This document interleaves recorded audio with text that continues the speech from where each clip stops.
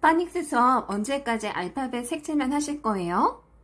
안녕하세요. 크리스틴입니다. 오늘은 알파벳 파닉스를 시작하는 아이들에게 재미있는 어, 포네릭 밸류에 대해서 학습할 수 있는 자료를 PPT 자료를 준비해 봤습니다. 한번 함께 보실까요? 밑에 대문자가 있습니다. A. 아, 소문자 A가 어디 있을까요? 네, 여기 있네요. 한번 클릭해 볼게요. 자, 대문자 A와 소문자 A 바구니에 담기면서 사라집니다. 그 다음에는 알파벳 대문자 B가 나오고요.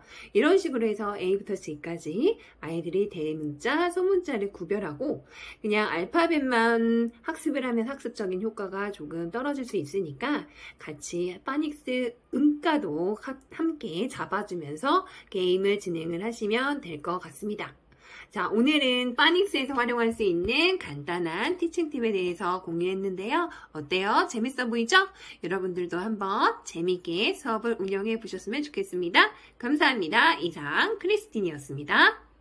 아, 소문자 A가 어디 있을까요? 네, 여기 있네요. 한번 클릭해 볼게요.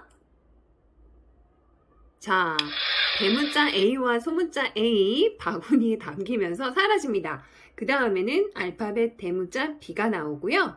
이런 식으로 해서 A부터 G까지 아이들이 대문자, 소문자를 구별하고 그냥 알파벳만 학습을 하면 학습적인 효과가 조금 떨어질 수 있으니까 같이 파닉스 음가도 함께 잡아주면서 게임을 진행을 하시면 될 것 같습니다.